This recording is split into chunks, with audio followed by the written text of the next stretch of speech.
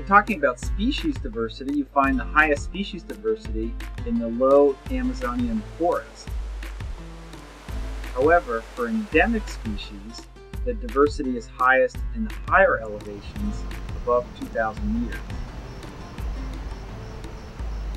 The, the changes in land use pressure that the Amazonian region, the basin, is experiencing are due to a much higher rate and pace of uh, transformation due to infrastructure and very high levels of resource extraction.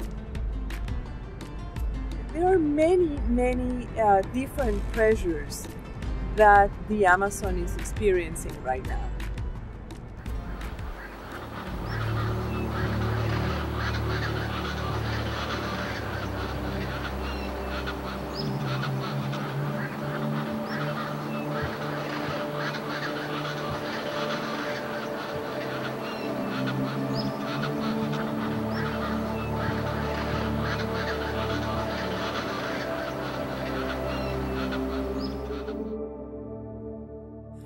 Besides the biodiversity or at the ecosystem level, the diversity at the ecosystem level that you can encounter in these regions, um, you can find also 300 species of trees in one hectare.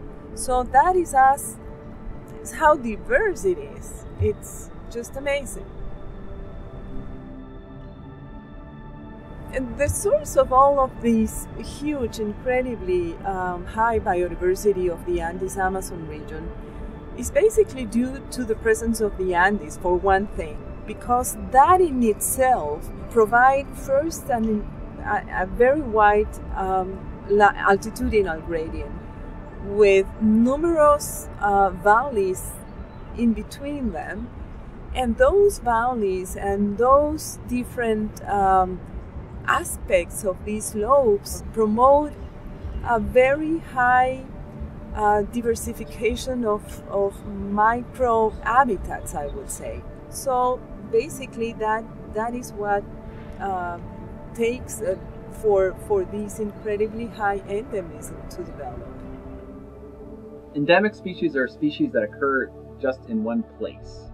You can define place as narrowly or as broadly as you want. So you can have species that are endemic to a country, to a state, to a continent. And in some respects, humans are endemic to the planet Earth in low orbit.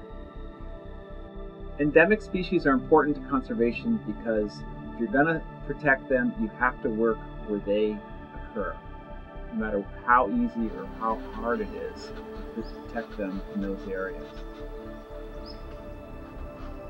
The goal was to produce uh, comprehensive information in terms of biodiversity. So, what we decided was to first come up with a comprehensive map of ecological systems across the region. And then also, we thought that in terms of species, what was most important to show and to analyze and provide the information for uh, was about the endemic species. And we came up with mapped predicted distributions of more than 700 endemic species, some of them quite restricted endemics. We wanted to make the results of this study, including the individual distribution maps, widely available to scientists in the conservation community think it's fair to say that this study contributed substantially to increasing conservation capacity in the region. For example, it's a little bit unusual to see such a transnational project.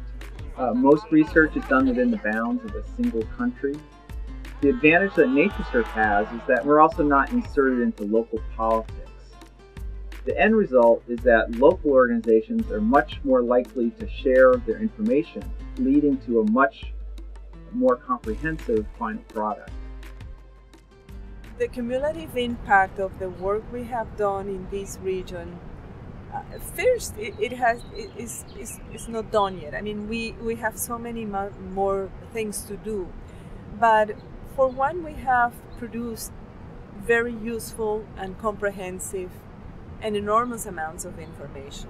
We are showing how to apply tools how to apply tools that uh, make it easier for conservation planners, for decision makers in the region to um, go about biodiversity conservation.